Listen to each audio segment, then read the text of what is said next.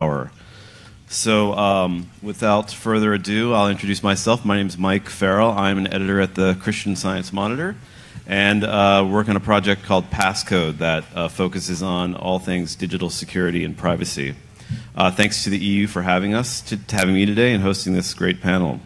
So, uh, I'll introduce these fine folks and then we'll dive right into our conversation. So, to my left is Andrea Glorioso. He's counselor for digital economy at the EU delegation to the US. So he focuses a lot on how the EU and the US can um, make progress on the broader global cybersecurity problems. Uh, to his left is Anne Hobson. She's Tech Policy Fellow at R, the R Street Institute. Um, and uh, actually, we'll pause for a second. Can you just tell us what R Street is? Because I think a lot of people will not be familiar with that. Sure. So I'm a technology policy fellow and I, I, work on emerging technologies, but the institute itself is focused on free market solutions to a lot, a wide variety of problems. Thanks. Uh, did that much better than I could. Uh, Rafael Laguna is to her left. He's CEO of Open-Xchange, with, which is uh, an open source enterprise software company based in Germany.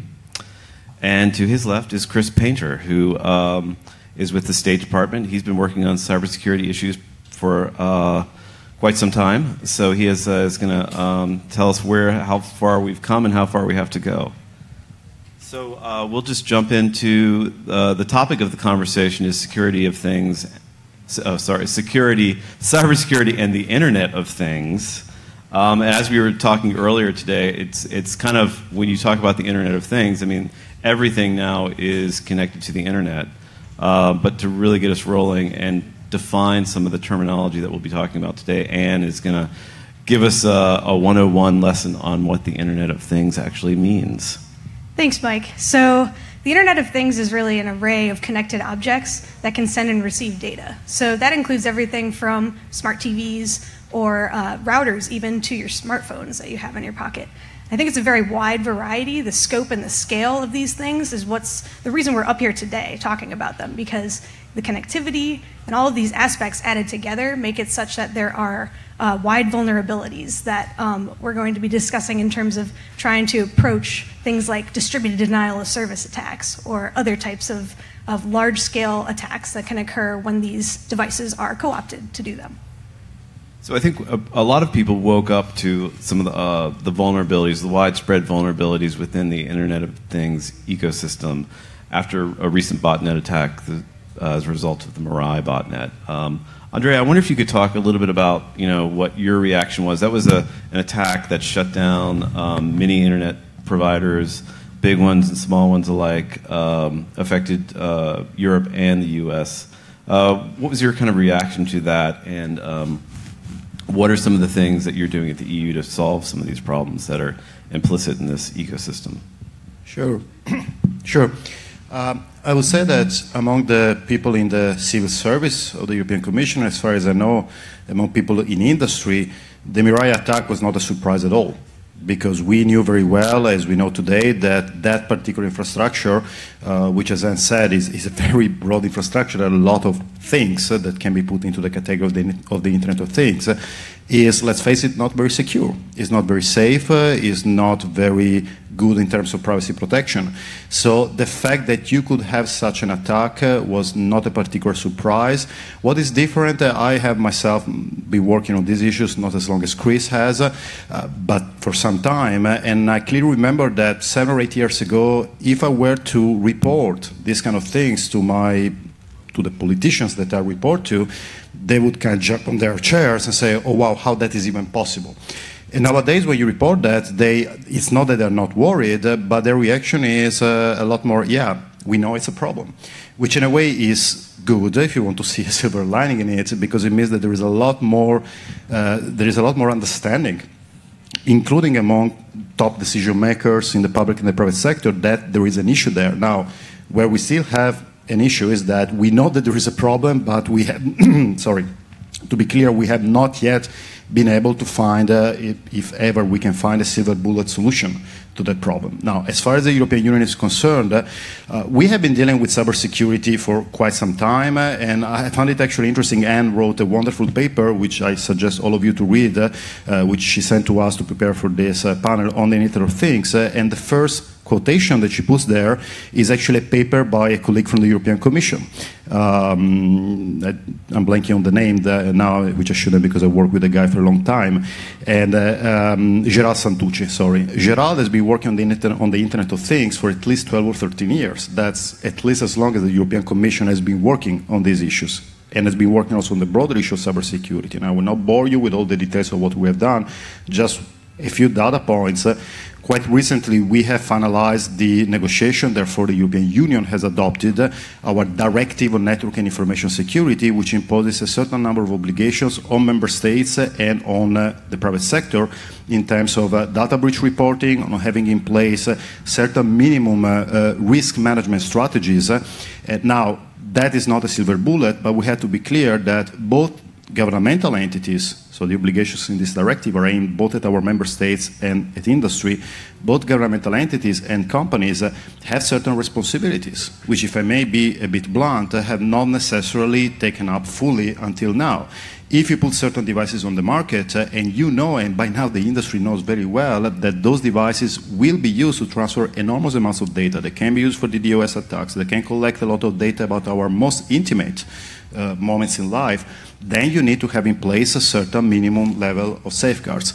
I want to be clear that we at the European Commission, nor as far as I know, the, the, member states of the European Union, we think that regulation is the only solution to the issue. We believe that the market can come up with very good solutions, but we also think, and I have to express a personal opinion here, I think industry had a lot of time to come up with solution to this quite widespread issue, and I'm not entirely convinced that the results we have seen so far are very satisfactory, quite honestly.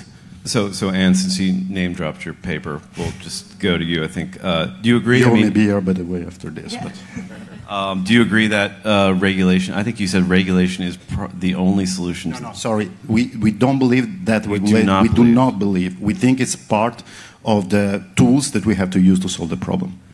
But you also did make the point that industry has had a long time to fix this problem and really hasn't. So I, think that it's fair to say, given what we see today, I think it's fair to say that the industry probably could do better. And I think that the problem there, I'm sure, uh, I'm sure Anna can talk much better about this than, than I could. I'm not sure that incentives are the, the, right incentives are there, because if at the end of the day you do not have to really pay for the breaches that your products produce, a rational economic actor, why should it spend money on uh, on making the products more secure. I wouldn't if I were the CEO of a company and there is no penalty my product being unsecure, my Internet of Things, my connected uh, toaster or fridge or whatever it is being unsecure. Why would I spend money on that? Especially in a market uh, such as the whole connected devices market, which is extremely competitive and where the margins are extremely low already from the start.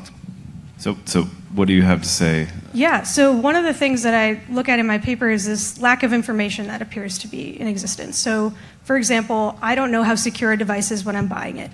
Also, uh, the companies, to a certain degree, don't know how secure their supply chains are or what vulnerabilities they're getting when they're buying a processor. And so I think that um, from that perspective, there's a lot, there's a role for government to play. Um, and what they can do is really advance uh, some of the industry solutions to this. One of them is certifications, another is, is information sharing efforts about threats, um, and a third is cyber insurance. And my paper really focuses on that. And I think cyber insurance is pretty cool because it aligns incentives in a way that certifications do not. So, in other words, if I'm going to invest in securing my product, I'm going to pay a lower premium. Um, and I'm also going to be protected in the case of a cyber attack. So I think there's that, that does a good job of aligning incentives in a way that we haven't seen so far, and those products are rising in, in uh, the market as we see today.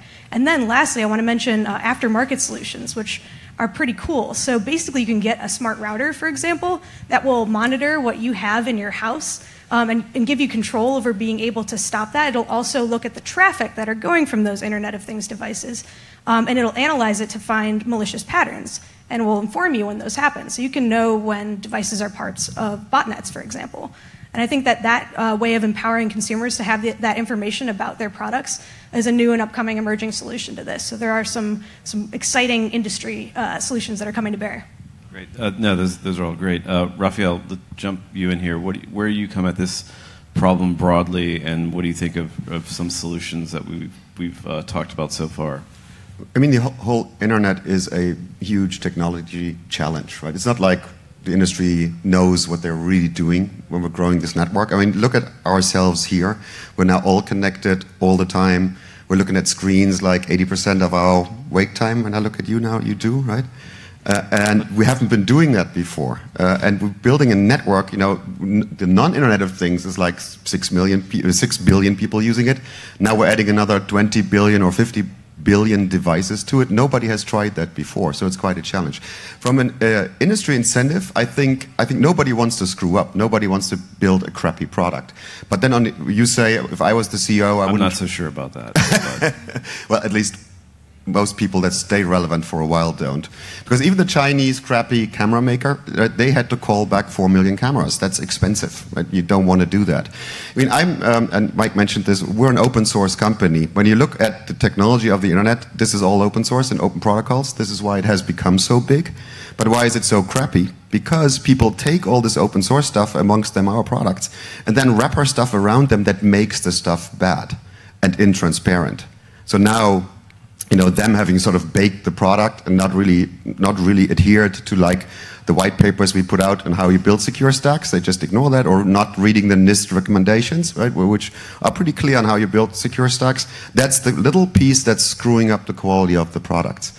So I think, and we mentioned this in the discussion before here, that if we would adhere to these open source principles that are sort of at the heart and at the core of the internet, you could put out a you know, say internet connected camera stack because the Chinese manufacturer doesn't differentiate because he has some cool software on there.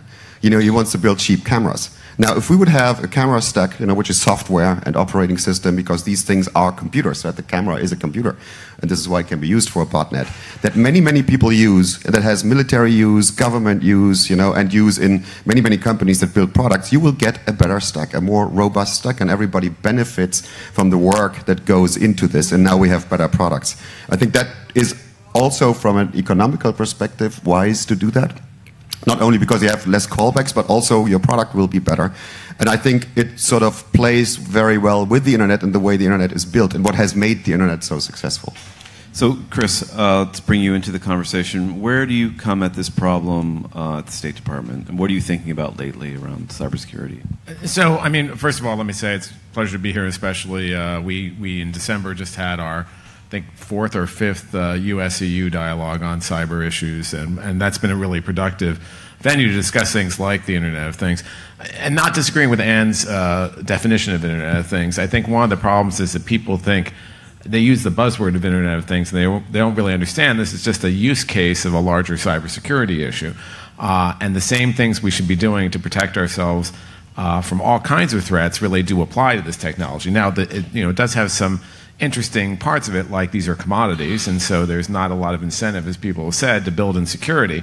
I do think, however, that there's been some movement, especially with all the publicity around the latest denial of service attack and some other things, to to uh, you know have some reputational pressure on companies and as we look at this, we can't look at this as just a national issue. These are always going to be international issues, especially when you're dealing with these internet issues. And, and I, I will tell my one Internet of Things joke now, which is the uh, Vint Cerf is fond of saying that he worries about the day when an army of connected refrigerators are going to attack your bank.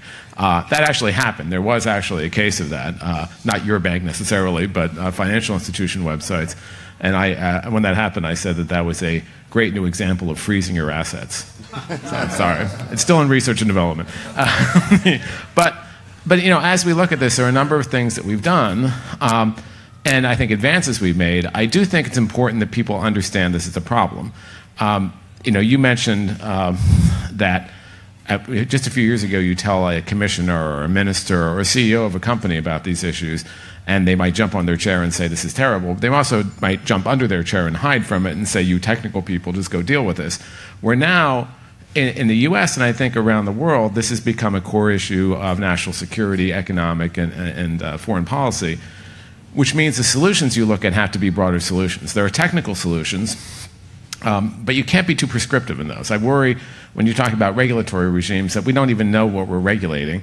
And if you come up with all these largely, possibly competing and, not interoperable regulatory regimes, that's worse than having some of the problems we're trying to solve. So, you know, I like the fact that NIST and DHS put out principles on Internet of Things and what some of the things you should be looking at are. I think we, we look at how we can work with other countries to deal with this. I think we should look at some of the best practices that are out there. Uh, I was in Singapore for Singapore Cyber Week back in, I think it was uh, November, and they wanted to start a consortium around security of Internet of Things. There are a lot of those. Uh, and it's nice to have all those efforts, but we need to try to try to bring them together and have more interoperability and interdiscussion between them, so we don't have all these orthogonal solutions. Um, but I think we can get there. I mean, I do think, you know, again, I think the fact that there's so much focus on this is a good thing. We had a cybersecurity strategy in the U.S. in 2003 which we probably no, none of you know we actually had. uh, and it was a national strategy. It was at the, the presidential level. And it became shelfware by 2004 uh, because people weren't ready for it. People didn't understand the nature of the problem or care. I think where we are now is people get it's a problem, but they don't know what to do about it. And although we made, you asked me in the opening how, you know, how, what we've done and, and where we're going, I think we made a lot of progress, frankly. I think we have a lot to do. And part of it is just coming up with those policies to, to deal with these threats, but not having to come up with a new policy every time you have a new iteration of that threat. And, and Andrea, I think you want to jump in. Yes, just uh, um, just to react very briefly to Chris' point on uh, the regulatory regimes, uh, uh, we agree, and I want to be very clear on that. It's in nobody's interest to have uh, uh, diverging regulatory approaches uh, between certainly not between Europe and the US, which let's face it are the two largest markets right now and the two largest economies.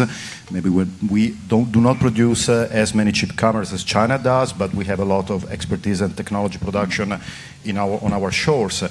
Um, nor uh, do we believe that we should regulate uh, an environment which we do not understand yet fully. However, having said this, I will also add two things. The first is that this is not a new environment. We have had the Internet of Things for quite some time, and before we actually came up with the Network and Information Security Directive, which is, by the way, a horizontal directive, it doesn't, it's not the Internet of Things Security Directive, it's the Network and Information Security Directive, which applies to all different uh, uh, technological fields or how technology is used in different industry sectors. We did a lot of discussions with industry, which went on and on and on, uh, according to me, even a bit too long, but in any case, we had that kind of debate. And if you look at the content of the directive, uh, we, I, I believe, uh, that's not only the party line, but also what I personally believe, uh, that it is not technologically prescriptive, uh, it is not uh, sector-specific prescriptive. We're basically putting in place certain baseline obligations, again, for governmental entities within the European Union and for industry, that they have to respond to in the way that they want to respond to. So Anne mentioned the, the, the importance of having information sharing again, sorry to be blunt, but the importance of information sharing is something we have been knowing about and talking about for a long time, and not many players have actually done a lot about it. So what we have done in Europe is simply saying, look, you have to do it. Do it the way you want, share what you think is important to share, relevant to share, but do share that kind of information. And in, in addition, uh, because the directive uh, puts this baseline, which is quite generic at the end of the day, we have a whole process to create uh, what we call in Europe a tertiary legislation or delegated acts, uh, which will define, or implementing acts, will define in more detail how do you actually apply this to different subsectors. And in that process, industry is fully involved. If it is not uh, because it doesn't know that it's happening, please let us know because we want all the industry to be involved. But at the end of the day, I, I, think we also had to realize the politics of all of this. As the digital technologies and the internet uh, become more and more intertwined with our daily lives, uh, it's not anymore the router that allows you to connect to your internet, and it's not only your toaster or your fridge, it's also your industrial control system. It's also your nuclear plant control system. Uh, if something happens there, then the political pressure to actually over-regulate will be enormous and I'm sorry, I've been in politics for some years. Uh, it will not be possible to resist that kind of political pressure if something bad happens, which, as we've seen with Mirai, it can very well happen. So, from our perspective, it's better to put in place some kind of regulatory regime which is as light touch as possible, but yet puts in place certain baseline requirements that in the details on how they had to be implemented. We leave it very much to industry to cooperate on how to do that. So I, I think we, we've not been good even in the past, though, of, laying what the baseline is. And so the, you know, the reason there is not that, you know, there is a better insurance regime now than there was. But one of the problems with an insurance regime is you need underwriting standards. And that hasn't been there. And look, I'm, I'm a recovering lawyer, so, you know, there's a lot of litigious people out there. Uh, and we haven't really seen a lot of lawsuits or other things or liability. And I think part of that is there's not really been a defined standard of care or even understanding what that is. But I think a lot of these voluntary frameworks help generate that over time and generate standards in the industry. And I think that does drive a lot of these different issues. And, and I, you know, we've tried, we have the NIST framework, which is a voluntary framework. It's not one size fits all, it deals with the, you know, the different sectors. Um, information sharing, I agree with you. I think we've been talking about information sharing for as long as I can remember and there's all these impediments all the time. First, it's uh, antitrust, then it's liability, then it's uh, Freedom of Information Act issues. And we've overcome all those speed bumps. But you're still not going to get information sharing unless there's a business reason for them to share it or for the government to, do, to, to share the information back. And that's something I think we also need to solve. So, not just being prescriptive, but making sure that it's meaningful what you're sharing back and forth. And I think, again, that's getting better, but there's a long way to go. And did you want to jump yeah, in here? so I think to add on, the NIST cybersecurity framework is it's doing a good job of creating a common language that everyone can speak in. So uh, insurers can build their modeling off of that, but also um, you have companies then that can can see what's important and be able to communicate that to other companies. So there are a couple of information sharing uh, efforts that are out there. One of them you can actually go see a couple blocks that way. There's uh, IBM, and they have uh, I believe it's called like uh, Force or X Force, um, and, and, that's one of the voluntary ways to share information. Facebook has a threat exchange as well. Um, and yes, I don't think these things are going to be silver bullets, but I do think they can get us 5% of the way there, a little bit closer. And that's because this is such a complex uh, problem, and, and there's so many players internationally involved. Internet of Things devices are everywhere. There are actually more devices than there are people on the planet. Like that's that's a problem that requires everybody um, governments and industry. And so I think that from an information sharing perspective, that's just one piece of the puzzle. Yep. Rafael, do you have? Yeah, you know, we do have some real concrete examples of where regulation changes the way the industry behaves already, like with the upcoming uh, GDPR regulation from the EU, and Andrea can explain what it stands for, but basically it says that you have to pay significant fines if you're a telco and you're providing a, a service platform to people and you're being hacked and you lose data. Right? And that translates into up to, I think it's 2% of your revenues, which can be tens of millions of dollars or pounds or euros or whatever you do. So now we as Open-Xchange, we built platforms for telcos. Email platforms, for example, DNS platforms. And now, of course, the telcos turn around and say, hey, Rafael, right, we, we want you to, we want to hold you liable and we want our money back, right? If we have to pay those fines because your platform was broken into and data got lost.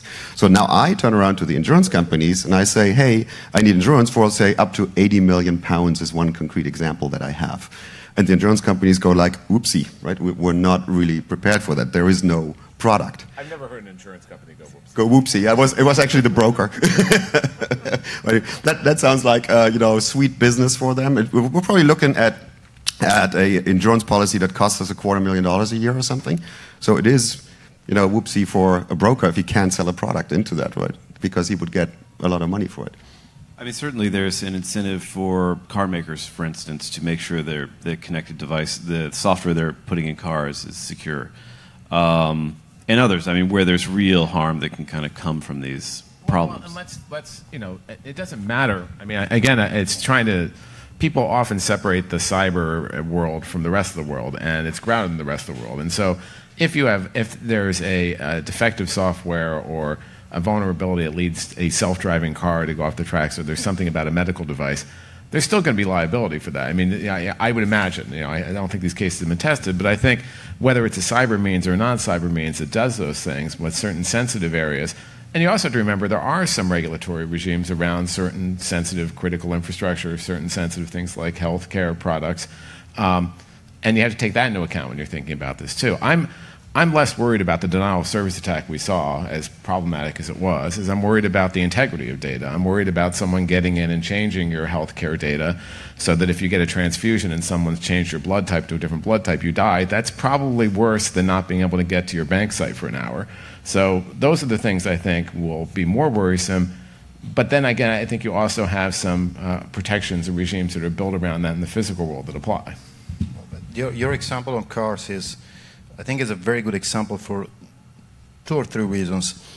The first is that you are looking at a sector which has been uh, not always heavily regulated, but as soon as it started to grow, I mean, the car, when the car industry was born, there was not a lot of regulation around, and people could build basically whatever car they wanted. They could drive around as much as wanted because you had, I, I'm making up the numbers, one car every 1,000 inhabitants, and so that was not really an issue. Once the car industry became to uh, started to become really widespread, uh, and therefore you had more cars on the street, the cars could go faster, and they could do more damage to people. Then that sector started to become more regulated. And I guess the question is, if we are able to manage this Internet of Things sector, which I think is challenging for all the reasons that we said. Not least because you know we are talking about connected refrigerators. That's a kind of consumer-facing and very cool. I want one of those, by the way, and they're all very cool. But it's not the same thing as I made example as an industrial control system, which is fully automated, which where you know, accidents can produce very concrete and real damage, economic damage, physical damage. So the question is, assuming we can define this Internet of Things sector, are we already at a stage uh, in which this particular industry is so widespread uh, and can have such an impact that we should heavily regulate it or not? From our perspective, uh, if you look at both the General Data Protection Regulation, which is the GDPR that was mentioned before, which, this, which deals, deals really mostly about privacy and personal data protection, or about the Network and Information Security Directive, which is more towards cybersecurity. We tend to take, uh, from our perspective at least, uh, a rather proportionate and graduated approach, because we do recognize, both in the GDPR and the NIS Directive, the Network and Information Security Directive, that there are certain sectors that are particularly sensitive, the nuclear industry, the, the transportation industry, etc., and there we have to be more careful. We have to be uh, little bit more regulation, if you will. There are other areas in which, quite frankly, yeah, okay, people can get upset if their connected fridge uh, doesn't correctly recognize how much milk you have in the fridge, and then in the morning you don't have milk. That's not the end of the world.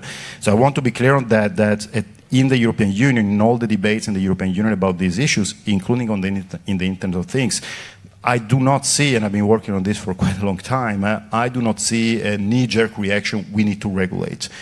But I think we have to be if I can be blunt, uh, we have to be intellectually honest and recognize that this has become a, very important sector with deep, whose dysfunction can have a deep impact uh, on the economy, at least in certain cases on the economy.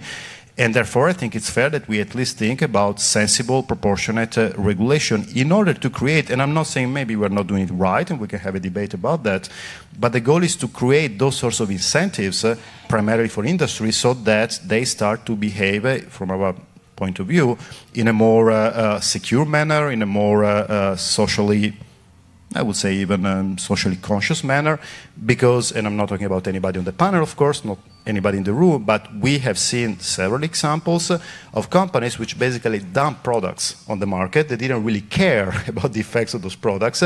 They made a lot of money out of it. and I think that uh, Rafael mentioned, or maybe it was Chris, the issue of liability.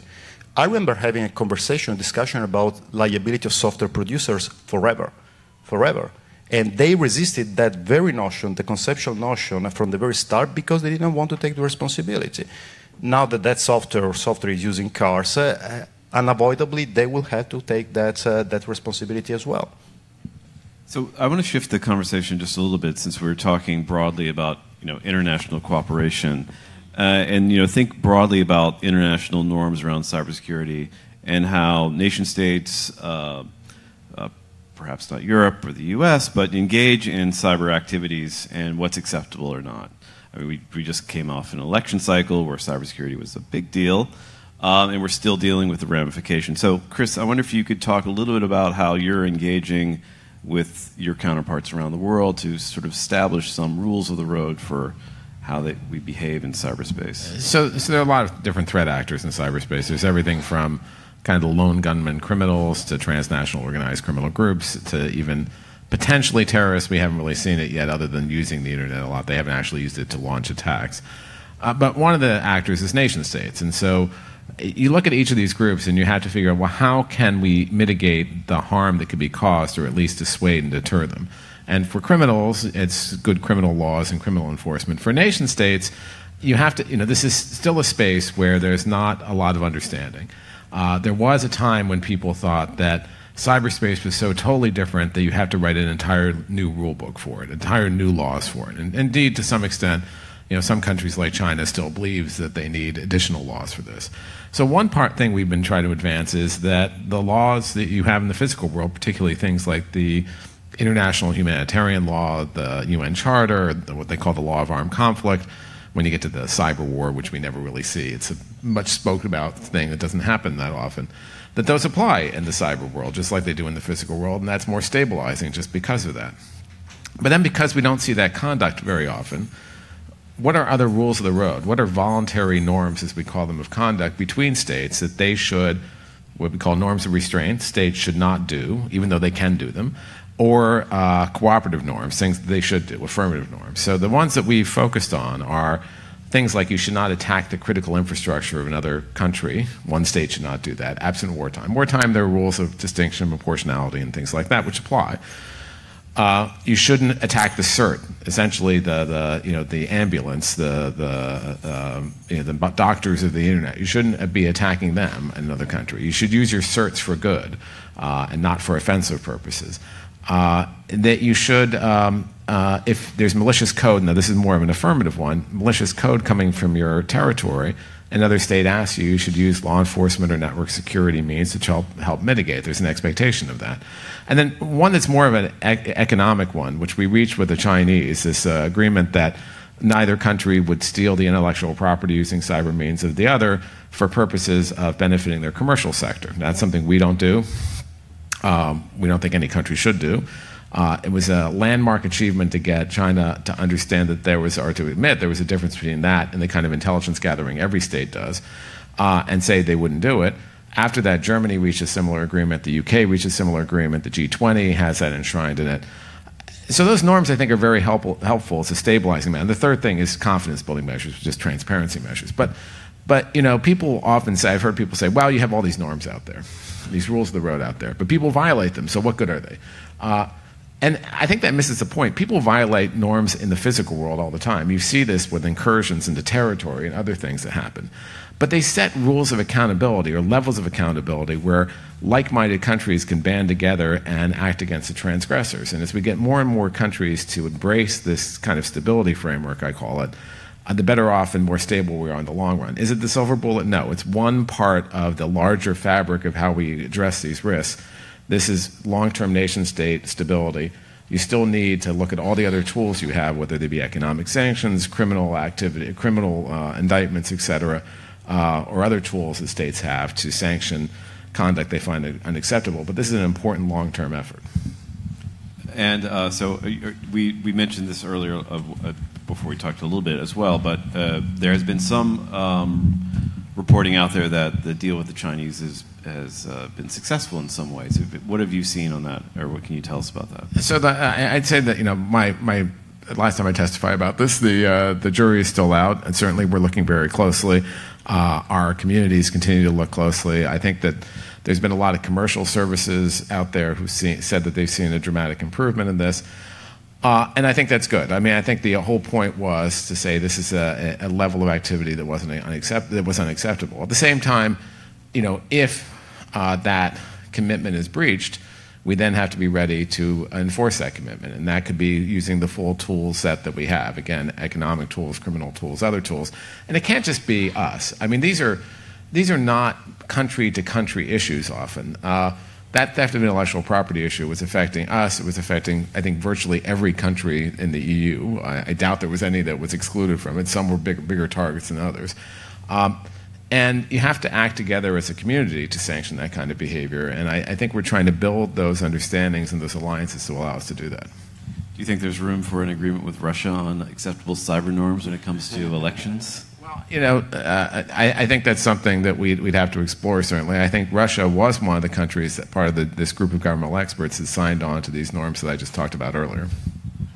So what's, what's happening on the EU in that front in terms of coming up with, you know, either country to country agreements, perhaps with China. I know EU does not have a similar agreement with China when it comes to cyber espionage. But do you see that as sort of helping solve this broader cybersecurity issue that we're talking about?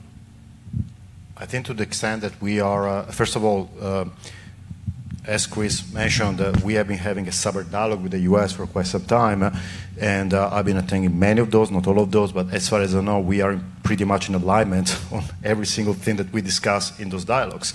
Whether formally there is a participation of one particular actor in agreement that the US might have with China or not, I think that's part of the mechanics of international politics and sometimes even domestic politics. Uh, uh, you don't necessarily want, uh, if you're a US leader and you want to sign an agreement with a third country, you don't necessarily want Europe to be in the middle. Let's put it this way. But bottom line is that there is a lot of uh, alignment that we need to have common rules of the road. Uh, we need to have common norms. Uh, Europe has officially taken the position that yes, you should apply existing international law to um, to the cyber war, whatever you how you want to define it, including when it comes to the Internet of Things. Uh, I think our position uh, when it comes uh, to the uh, our focus uh, as the European Union, as opposed to what some of our member states might focus more. As you know, we have a slightly different system than in the U.S. So a lot of uh, military slash national security matters are left to the member states to deal. So I, I cannot speak to that. but when it comes to what the European Union does with third countries, uh, certainly in our dialogues with China, certainly in our conversation with Russia that have now kind of moved down from being formalized dialogues to continuing to talk because, quite frankly, the situation in Ukraine, etc., we still continue to talk. The bottom line there is uh, we want everybody to realize that certain minimum level, certain minimum standards of safety of cybersecurity in these products that have anyway a global impact are in the interest of everybody. What we also want to avoid, uh, and we had uh, a very good cooperation with the US government uh, in dealing with China on this matter, we don't want cybersecurity, and that's a risk. And that's a risk particularly as we move towards this Internet of Things, where you have a lot of cheap mass production. You have countries such as China, which sees this as an opportunity for its own economic development. We don't want to see cybersecurity used as a protectionist measure. And we see in China various draft of China cybersecurity law, which, at least in the drafts, would impose all kinds of obligation to foreign producers to give to China their intellectual property, the source code of their products, uh, or in order to comply with certain rather vaguely defined cybersecurity requirements to operate in the country.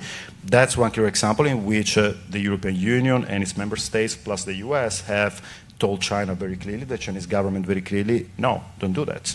It's, we do not agree. And I think there is a lesson to be learned there, at least from my perspective, that in all these matters that we're discussing, uh, if Europe and the US, we need to accept our sometimes different approaches. We need to accept that we come from sometimes a slightly different background. We have different, but we have a lot more in common in terms of how we define the problem, how we want to solve the problem, where do we want to be once we have solved the problem, how much we should let industry work on this. Again, there are small differences, but certainly the small differences between Europe and the US are much, much, much less than the differences of either country with the way that China is dealing with this stuff or Russia is dealing with this stuff. And I think we should keep that in mind uh, so that we, we don't let the small differences get in the way of pushing the rest of the world towards a more sensible approach to the cybersecurity of the, of the Internet of Things and of the Internet and digital technologies more generally. And, and if I could just add, I mean, one of the things I think has been interesting over the last six years, really, is six. My office was created in the State Department six years ago. There was no other office like mine in the foreign ministry. There were offices in various technical ministries, or you know, certainly DG Connect or others,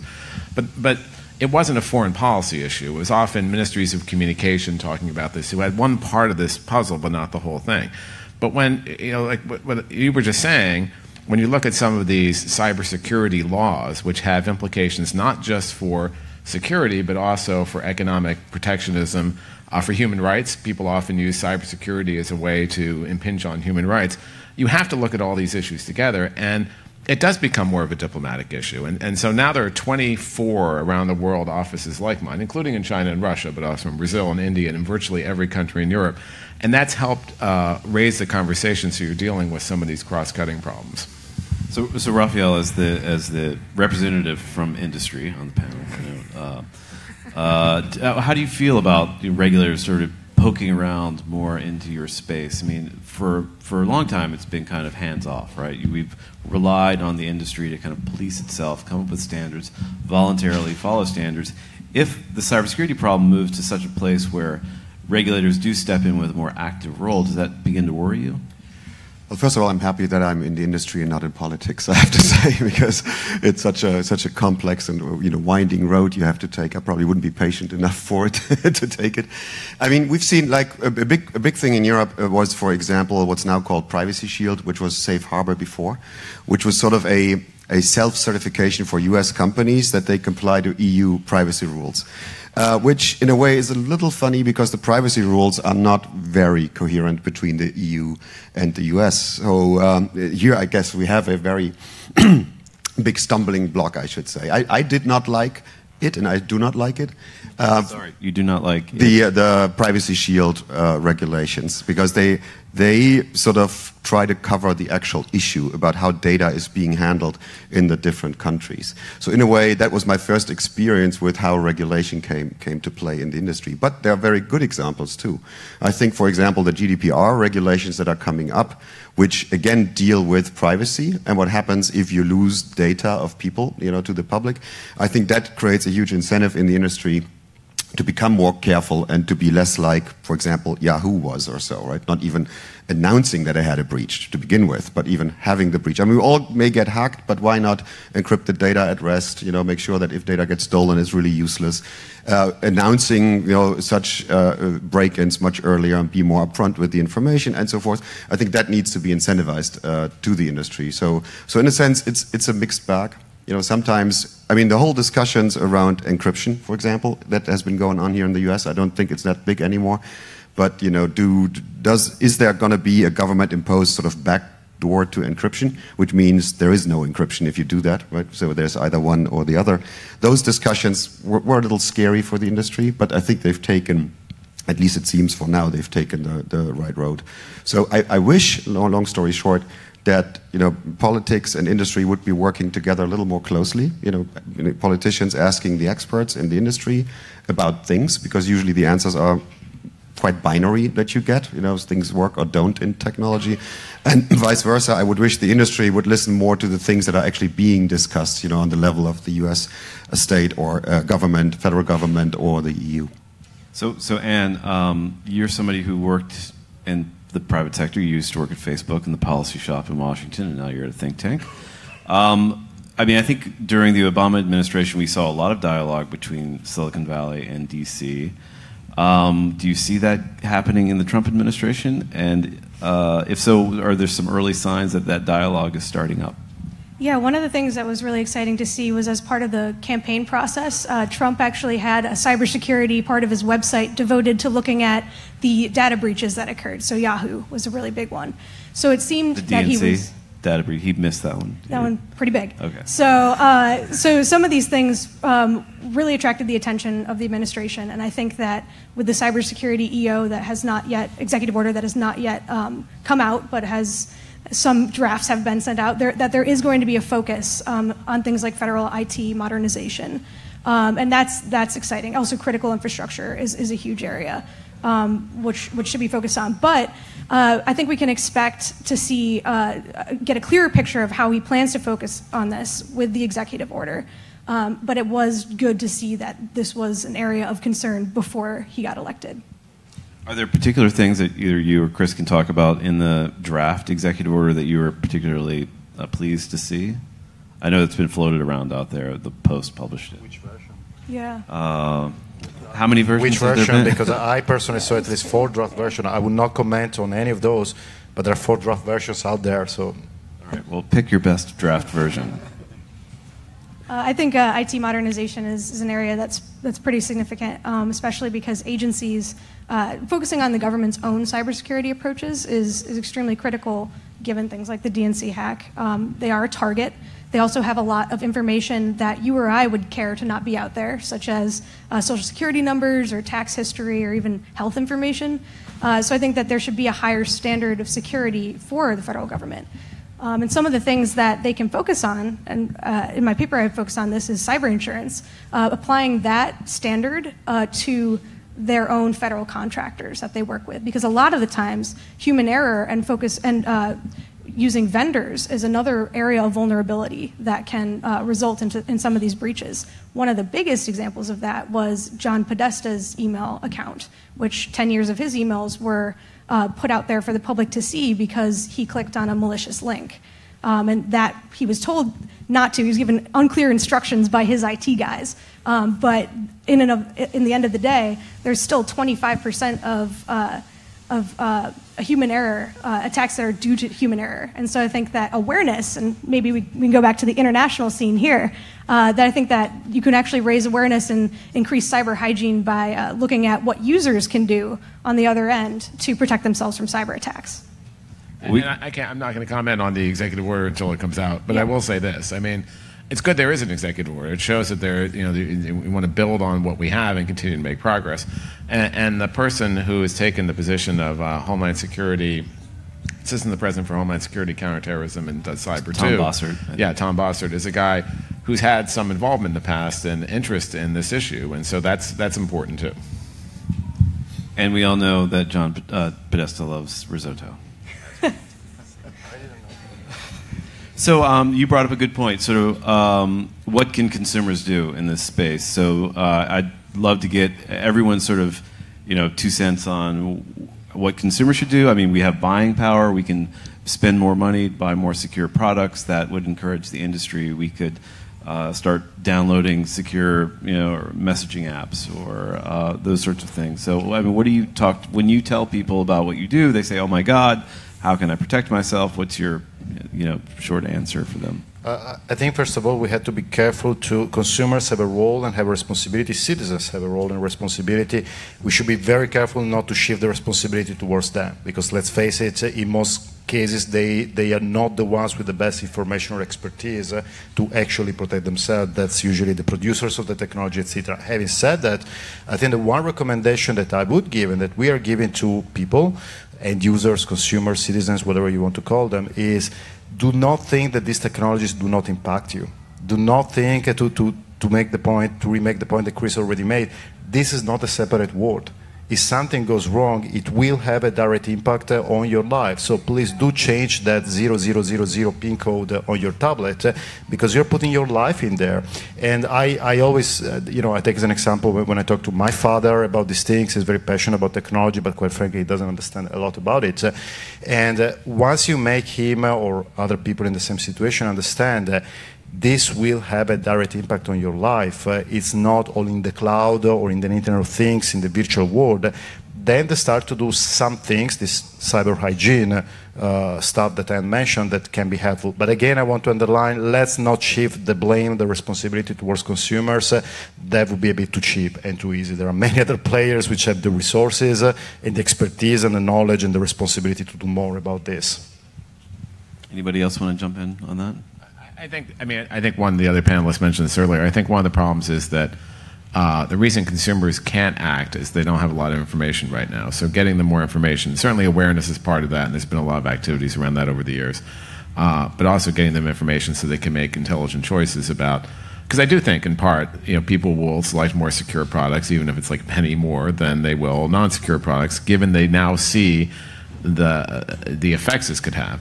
And it's one thing when the effect is, you know, someone steals your credit card and your bank makes you whole. It's different when you're losing personal information and it has a longer term effect on you. I think people do care about that. And we, we, do have consumer protection when it comes to things like food, for example, right?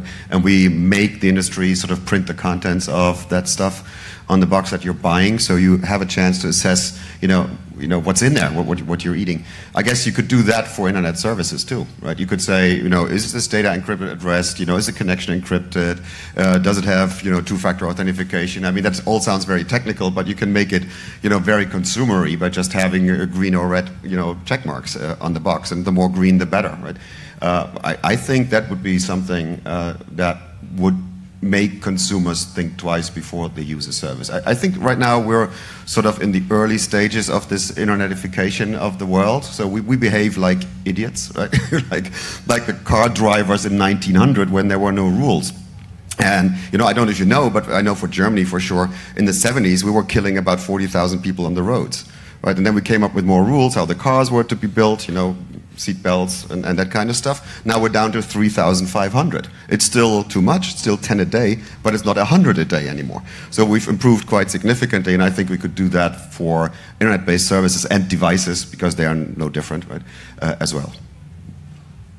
Before I get, let you jump in on that, I want to also uh, say that if you guys have questions out here, you've been very patient listening to us uh, chat. Um, please just uh, raise your hand. I think we, you know, we're a small enough group that you can just shout out a question and we'll answer it. Um, oh yeah. Uh, well, wait one. Sorry, one. Wait one. Please second. use the mic as we're streaming. Thank you. Absolutely. Um, Sunny Sinha, thanks for everybody for doing this great panel.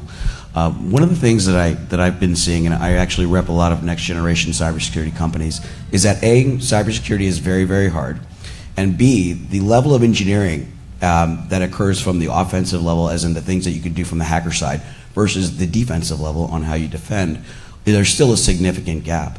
What are the type of market development initiatives that you guys have seen to try and actually close that gap and, and turn this more into a private sector free market issue? Or have you looked at it that way?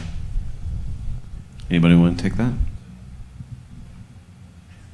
Wow, you stumped the the. Uh, I mean, I, this this is partial answer to that. One thing I've seen is kind of moving it up the stack a little bit. I've seen a lot of the ISPs take more action to protect their users, uh, and that's actually been a marketing thing they've used for that. You know, I saw that in Germany ten years ago. Now it's coming to the U.S. So, so that I mean, that's not protecting companies necessarily, but it's also companies who are their customers, but they do these managed service and other things where that's been effective. So, the, I think that's one element of it. Yeah, I can also add on. Uh, there's actually IBM down the street again. They're uh, they're demoing the use of AI in analyzing a lot of cyber threats, and I think that's that's pretty interesting to see a cool map where it shows what types of attacks are happening to different countries, and that's a paid-for service, um, which I think is hard because that information would be beneficial to a lot of actors. Is cybersecurity really that hard? I mean, you, you, Oh. you I mean, it seems like th- you, there's some pretty basic principles that could be applied that I, I, a lot of people are just aren't doing, and that's where you get into a lot I mean, of look, I, problems. th- I think you get people make up these numbers like 85%, 90%. I don't know exactly what the percentage, but it is true the vast amount, vast number of intrusions that you see today are easily fixed, easily plugged.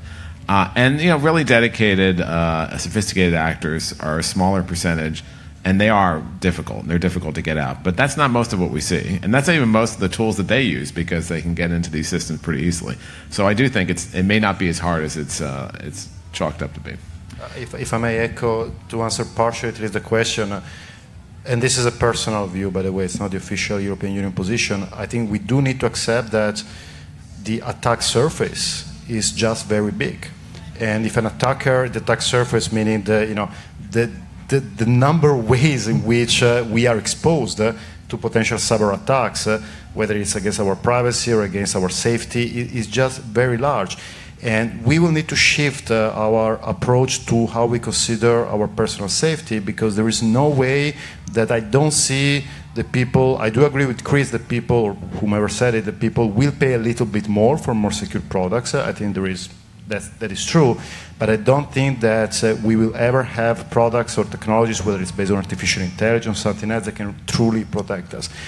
And that, to me personally, suggests that we need to explore, to explore a lot more uh, what happens after an attack, whether that's through insurance uh, mechanism, uh, what's to be prepared for before the attack, knowing that an attack will happen, and be prepared afterwards. Having said all of this, as Chris said, and I don't have the numbers either, as Chris, I believe people make up these numbers, but my experience after several years working in the space, both in the private sector and in the, in the government, by the way, is that the vast majority of attacks that we see are really stupid, and it could be prevented with very minor with very minor practices, very easy practices. We tend to focus a lot on the kind of nation state cyber intelligence attacks because they're sexy and they attract the headlines. But that's not the vast majority of problems that we have. So let's, my suggestion would be let's focus on the low hanging fruits, let's fix that, and then we can have, or in parallel, we can have a conversation on the really difficult stuff. Think we have a question up front. Hi, I'm Sasha Moss, and I'm also at the R Street Institute. Anne and I actually share an office. So Tell us about that. How it's a great experience. We we share look each other each every day and give support. But my question is in regard to the EO. Um, panelists mentioned that there's IT modernization. I work in the copyright space, and for example, Library of Congress must go to Congress every year and ask the appropriated funds through the, um, the Subcommittee on Appropriations the Judiciary. And past three years, funding has substantially been caught um, yearly. But most of this funding, because they have to do a detailed structure, um, if you bracket it out, one's IT modernization for security, and the Copyright Office is in charge of depositing copyrights, intellectual property, their software copyrights, for example, and if their systems are not secure, this can then kind of reverberate in the cybersecurity space. So I guess that's the circumspect and long way of asking of how do we get lawmakers to understand cybersecurity needs and the need to appropriate funds to agencies or technically it's a legislative branch, the Library of Congress and Copyright Office, but I used to work on the Hill, and that conversation was never really entertained. So, do you have any tips for policymakers or lobbyists to work on this issue? One thing that's interesting to bring up there is uh, within the federal IT modernization budget, it's about $75 billion uh, a year. A lot of it goes towards maintaining old uh, infrastructure. Uh, and there's been a lot of talk lately in the House and in the Senate about solutions to, to move forward in terms of uh, buying new infrastructure and, and implementing it that way and shifting the cost. But that costs a lot of money. And so we're seeing, uh, we're seeing a hesitancy to pursue those, though I think it's really important to do so. Open source. You expected that. I mean, if I were in the, if I were a government, uh, I would work with other governments because you, you, all governments are trying to solve the same issues, right? And why not put your money together and have one solution for everyone because it's quite similar. And even if it's only like three governments working together or three states or three counties, you know, you do I mean, just look at the election stuff. You know, I was talking to somebody at the CSM passcode booth. Um, Everyone should stop by. It's on the trade floor. CSM passcode. You can learn about election hacking and and hang out with us. Here, come, here comes my croissant, right? That was for the, for the plug. Um, and, and, you talk to somebody there who's um, um, pr trying to promote an open source election, uh, you know, algorithm and software, because the governments, the counties, are using crappy, you know, systems that cost six thousand dollars each, you know, from Diebold or so, right? That are 30 years old and easily hackable. You could solve that for all of the United States by just building the software once out in the public and the open under public scrutiny it would be much cheaper than anything you do now, so you would be saving money, right? And you would have a better system at the end. And that applies, I think, to almost all of government IT.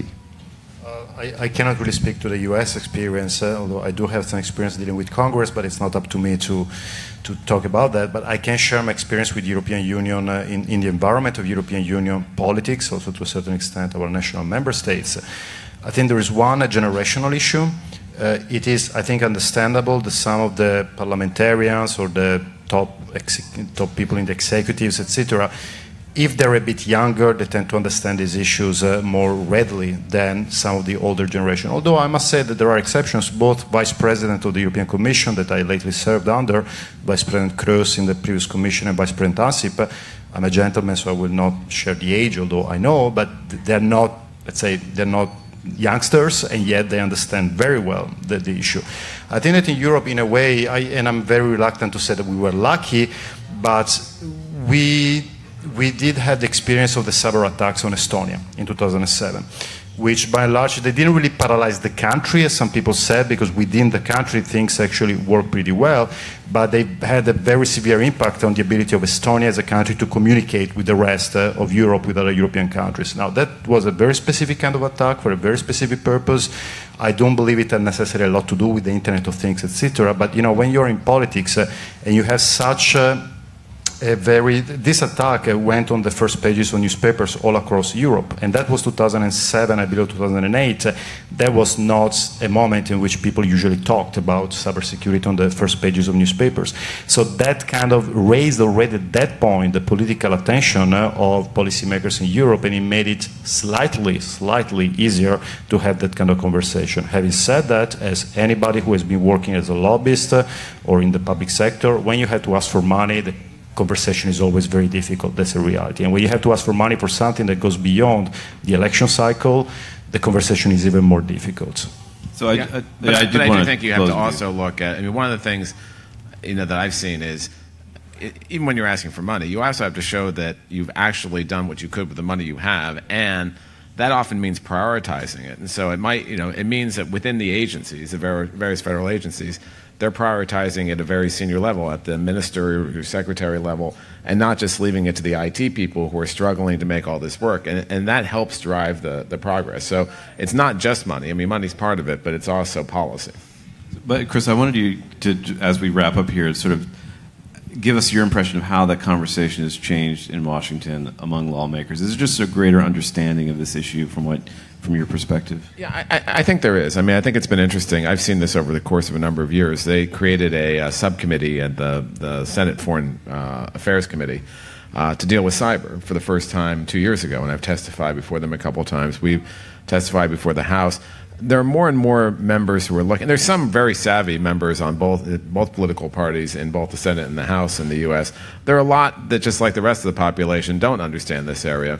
But there's a lot of work that's being done, uh, you know, through the uh, this new congressional cybersecurity caucus, and there's always been an internet caucus to try to educate folks about these issues. And, I do think there's growing understanding. I mean, there's still a lot of wh- what do we do about it, and how can we handle this, and looking for some silver bullets. But but I do think it's it's significantly better now than it was even five years ago, and it's growing. I think.